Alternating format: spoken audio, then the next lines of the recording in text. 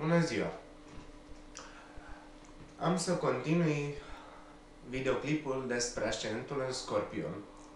Mă numesc Andrei și acum voi vorbi despre chestii un pic mai profunde legate de acest uh, concept numit ascendentul în Scorpion.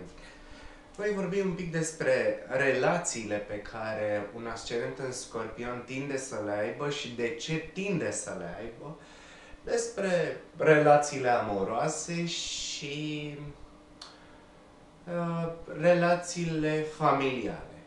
Bun.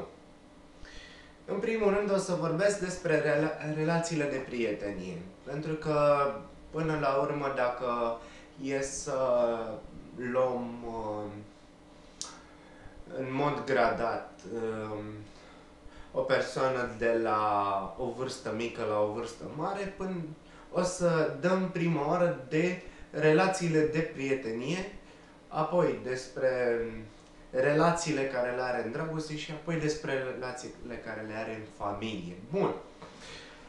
Relațiile cu prietenii. Ei tind foarte mult să aibă grijă de prietenii lor și nu numai încercă să facă o atmosferă cât mai degajată, dar o atmosferă în care toți să se simtă ca la ei acasă. Problema este că uh, acest tip de ascendent, cum am zis și în videoclipul trecut, uh, are tendința să gândească în alb și negru, și chestia asta îi ajută foarte bine să-și aleagă prietenii. După niște criterii foarte bine stabilite și um, rare un, ori un ascendent în uh, scorpion poate să se înșele asupra unei, unei persoane. De ce? Pentru că, după cum am spus, în afară de faptul că acești oameni cu ascendent în scorpion gândesc în alb și negru, de asemenea au și o atenție foarte mare. Atenție la amănunte, atenție în ansamblul și chestia care îi ajută foarte mult. Pentru ei, o relație de prietenie nu înseamnă doar a ieși afară, a sta în casă și a face lucruri. Și sub nicio formă. Înseamnă, din contră, o legătură profundă cu uh, acei pe care, uh, după un timp destul de îndelungat, ajung să îi cheme prieteni.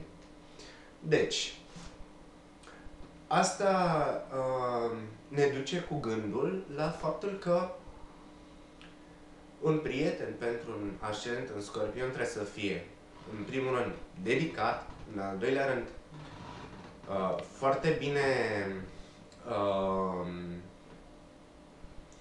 uh, să aibă o fire foarte bine definită și să știe cum să nu mintă, să știe să spună adevărul, să spună lucrurilor în față și atunci acel ascendent de scorpion reușește să găsească în acel om o um, legătură apropiată de suflet.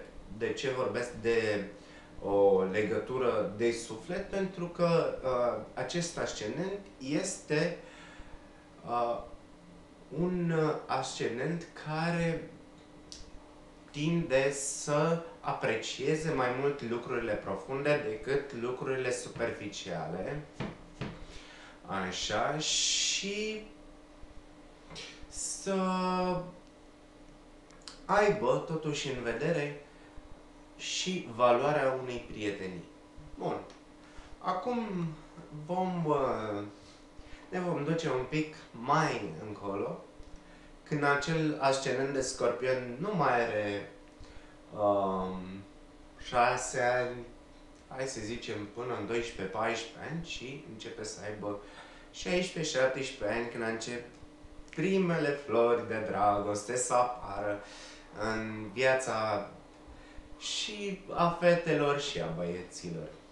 Acești oameni cu ascendent în scorpion, după cum am spus, au tendința de a gândi și a uh, face lucrurile să se întâmple, ei caută într-o relație de dragoste o transformare și uh, de evoluție personală și nu numai personală, și, ci și cu acea persoană și prin firea lor reușesc, prin a nutri o dragoste cât se poate de sinceră, să uh, uh, schimbe, să facă lucrurile în viața lui să se manifeste după propriile criterii.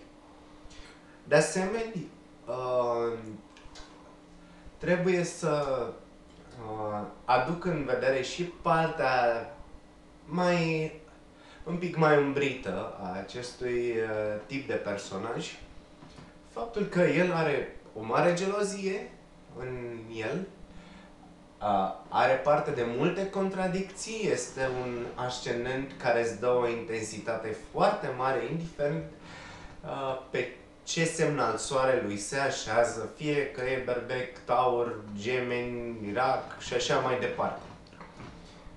Îți aduce un focus și acel focus înseamnă și acea intensitate.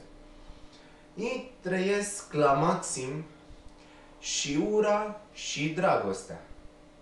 Ei nu știu decât ori să iubească, ori să urască.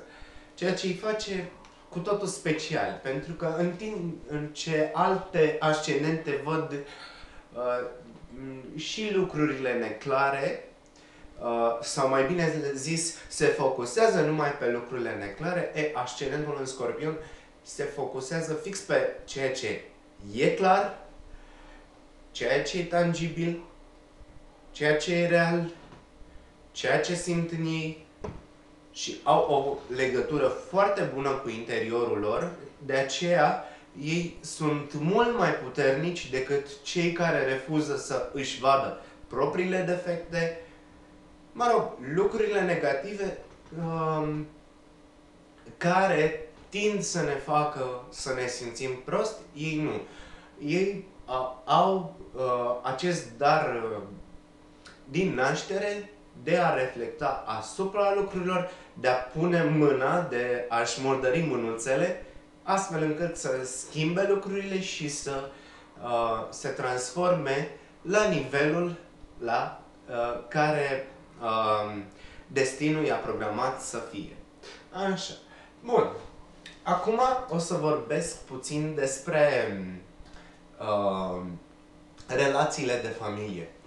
Pentru un ascendent în scorpion, care să zicem a crescut mai mare, nu mai uh, e la nivelul doar de a testa dragostea, doar de a testa prietenia, vedem totuși o implicare mult mai profundă în cadrul familial, care e foarte important pentru el, din care el își extrage și seva, dar dă și uh, celorlalți le inspiră putere, energie, determinare, practic uh, toate lucrurile care se regăsesc în el, uh, ascendentul în scorpion e gata să împartă acele lucruri și cu familia. De ce? Pentru că mai mult decât orice alt semn din uh, uh, semn din, uh, ascen, din uh, zodiac, mă scuzați,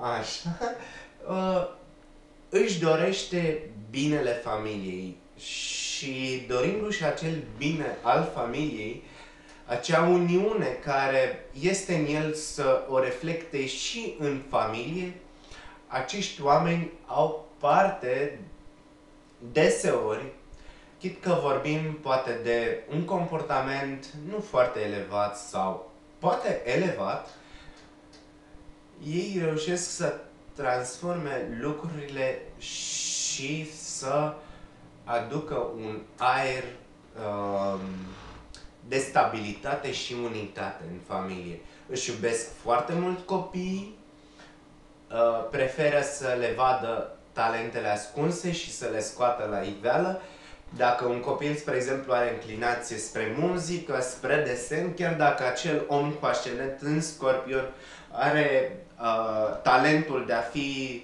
foarte logic, de a gândi în simboluri, cifre chiar, dacă e un matematician, el totuși își va îndrepta uh, copilul spre ceea ce poate el mai bine să facă, pentru ca uh, acel copil să se bucure uh, de o maturizare oarecum precoce, pentru că un ascendent în scorpion este foarte pretențios ca și părinte.